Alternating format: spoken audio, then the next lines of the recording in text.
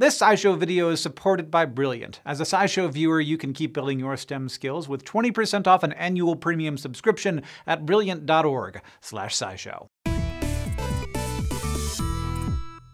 If you've never seen a banana tree, you might not realize just how impressive they can be. They tower over you and can be 6 to 12 meters tall, which isn't like the biggest tree, but the entire plant grows and produces fruit within a single year. The catch is that it will only produce fruit once. After this, the entire above ground part of the plant dies, and you need to cut the tree down to its underground stem and roots. This lets the new shoots, called suckers, grow and give you more bananas the following year. This cycle can go on year after year, which is good, since most types of farmed bananas don't produce seeds. Now, I kinda lied to you, because banana trees aren't technically trees at all. Their trunk isn't made out of wood. It's called a pseudostem because because it's just very tightly packed leaves. You might see where this is going. After you sell your delicious bananas, you're left with those massive stalks you need to cut down every year. That's a ton of plant waste. Not everyone wants to eat green bananas the color,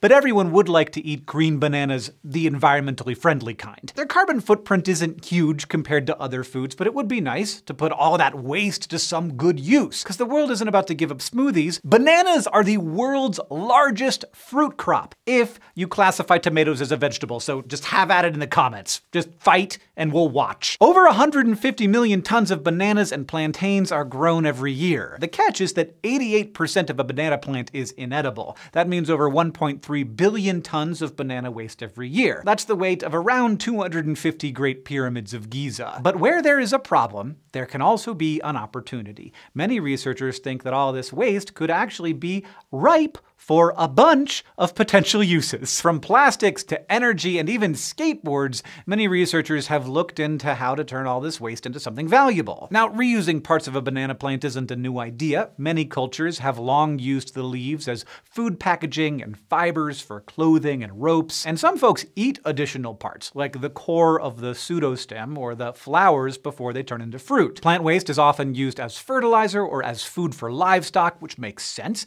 except that the banana byproducts lack nutrition, so they're not ideal for that kind of thing. So much of the banana waste goes to waste. It rots or is burned, which can create environmental and air quality issues. And that's a big part of why repurposing it into something else is so exciting. So let's start with the basics. Banana stems are too flexible to build anything rigid on their own, but they have a ton of fibrous material in them, and we already use similar fiber from cotton, sugarcane, corn, and many other plants. Just like wood, banana pseudostems can be converted into paper, and it turns out it's more water resistant and stronger than paper made from wood pulp pulp. The fibers from banana pseudostems can also be mixed with plastic polymers to strengthen them. Researchers have built everything from furniture to skateboards out of these banana fiber strengthened materials. One study found that adding pseudostem fibers to epoxy resin increased its impact strength by 40% and its tensile strength by 90%. Another found that polyester resin skateboard decks reinforced with 15% banana stems had excellent strength and flexibility,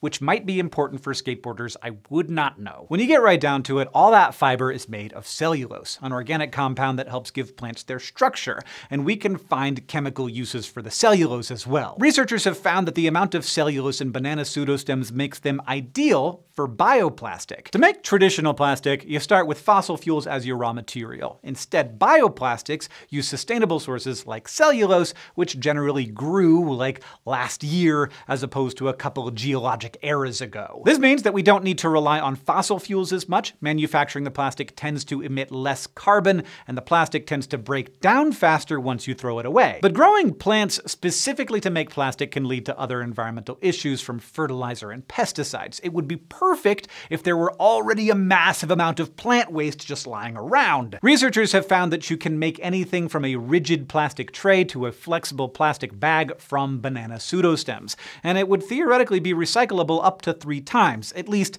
if it was under laboratory conditions. And one job banana bioplastic is suited for is packaging other produce. The science of packaging fruits for shipment is pretty complex. You not only need to protect the fruit on its journey, you also need to control how quickly it ripens so that it's not past its prime when it hits the shelves. Take mangoes, for example. Like many fruits, they release a gas called ethylene, which causes them to ripen. So you need a package that allows this gas to escape. How permeable a plastic film is to gases depends on things like the plastic's density and the characteristics of its molecules. And it turns out cellulose film has a much higher gas permeability than polyethylene, the most common fruit packaging material. A 2021 study found packaging made from banana plants delayed the ripening of mangoes compared to the standard polyethylene plastic. And when composted, it decomposed in just four weeks, much faster than the standard plastic packaging. Believe it or not, this is just the start. Carbon powder made from heated banana peels has antibacterial properties,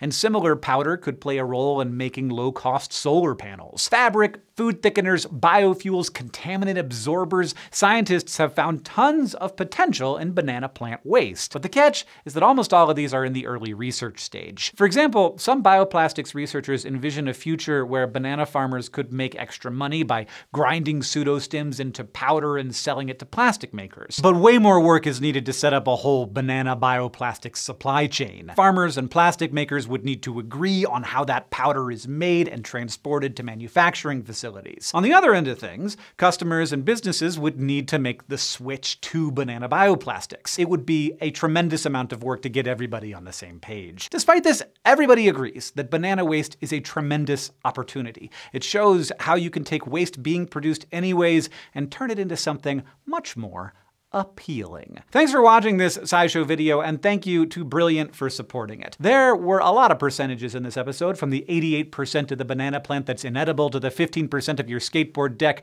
that could be reinforced with banana stems. And if that kind of everyday use of percentages lights your fire, then you will enjoy the Everyday Math Brilliant course. Brilliant is an online learning platform with courses in science, computer science, and everyday math. Through interactive puzzles and lessons, they bring you into the world of STEM, and in this course especially, they bring STEM into the world. This course has no prerequisites and can be a great way to reinforce your math foundations by putting percents, fractions, and ratios into everyday contexts. You can check it out along with over 60 other Brilliant courses by clicking the link in the description down below or going to brilliant.org slash scishow. As a SciShow viewer, you will get 20% off an annual premium subscription. With Brilliant, math does not have to make you go bananas.